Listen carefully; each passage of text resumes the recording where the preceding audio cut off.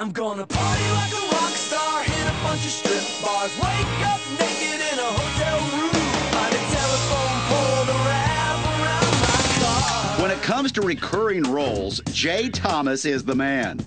He's been the go to guy on many of the biggest sitcoms of all time. Recently, Jay made headlines of his own when he got the surprise of a lifetime. This really is an amazing story. It's an incredible reunion, more than 20 years in the making. Well, I had a, a child years ago out of wedlock. And, um, and everybody gets really quiet. it's really intense right now. But he lived a better life than he would have if he'd lived with me. I'm thinking of giving my other two kids up to his family. Thomas had put JT up for adoption more than two decades ago. Why? Jay wasn't quite ready for the responsibility of fatherhood. I'm sure I fantasized that my dad was, you know, Burt Reynolds or Tom Hanks or somebody, but I never had any idea my real father was a worldwide celebrity. At age 31, Jay Thomas was struggling to get his career going in Hollywood.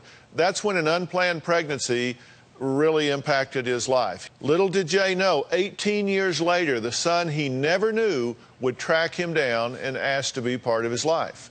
I was always curious where I came from. I saw a commercial on television about an adoption service. I called them, and in the day of the internet, I just, you know, gave him my information. And she said, Your biological father is not like the rest of us. He's Jay Thomas. That's right. JT's dad is Emmy winning actor Jay Thomas. I always knew I was adopted. I have really amazing parents. You know, my uh, mom and dad have been great. And yeah. Uh, so I just, when I met Jay, it was exciting, but you know, I just, I'm really lucky. What can I say? Oh, you two are lucky. Yeah. Yeah. Thank you. Wonderful.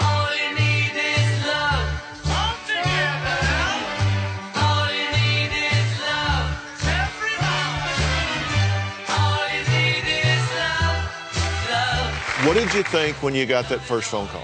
I said, I'd like to meet you, but I want to meet you in a public place in case you're crazy and you try to kill me or something like that. I have a comedian friend of mine named Rodney Lee Conover. So I said, look, this kid who says he's my son is going to go to the, one of the shows. You sit next to him and you come backstage later and tell me what you think. And he comes backstage and he says, I'm sitting next to you 20 years ago. And then we met that night, and within two weeks, he was house sitting. He was with my family. I have two boys, and you know, it just worked out great for us. So, what did you think when you met him? Uh, oh my God, I'm going to be bald. I was. I Hey, was worse I things was could happen. Worse things could happen. Oh my God. When you met, were you nervous? Uh, I was, but I was. I was also, uh, you know, kind of thrilled. I've always been very curious where I came from. I've had two, or still have, you know, two great parents. I was nervous what my parents would feel, and my brother back at home. But yeah, it was. It was very exciting. You know. So, at this point, you're clearly glad that you got the phone call. Well, if he had been a nut, I wouldn't have hung around with him. When I met him, I said, gee, it's fun to meet somebody who gets me. Finally, we started saying that I I'm sorry to interrupt, but he wasn't allowed to tell his kids who I was because you know his wife, who was great, is like, you know, say he's your cousin or their uncle, they're going to be all messed up, you know. So we, you know, No, my wife said, Dr. Phil says you need to go to therapy. So I said, okay. She said, and th- they would want to know who's JT. They loved him, and I would just say he's my friend. It was two for one margarita night at the Red Robin one night. I was losing about $10,000 on a football game. I had two margaritas. My eight year old son sits down, and I go, Hey, you know JT? You know who he is? Who did? He's your brother. And he says, When did mom have him? I said, all of a sudden, I was sorry I said it. I said, No, no, no, he didn't. Uh, your mom didn't have him. Another woman had him. And he says, Where does she live? I said, I said, and then he said, Are you going to give us away? I said, No. So I got I get him in the car, you know, and I said, look, you can't tell mom because we're going to go to a therapist and we're going to talk, and the therapist is going to tell you, and you have to act surprised.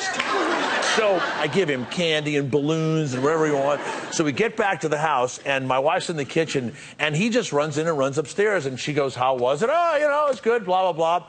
The little one comes running down the stairs and says, Mom, Mom, you know JT? He's our brother. And I turned to my wife and I said, We just saved $10,000 in therapy. Well, that is wrong on so many levels. I I can't even begin to tell you. What's wonderful is you're seeing all these pictures of me from 20 years ago, and now I'm back again because of this. And I recommend give away one of your children. 20 years later, this could happen to you. I'm gonna party bunch of strip bars. Wake up naked in a hotel room. Throw my TV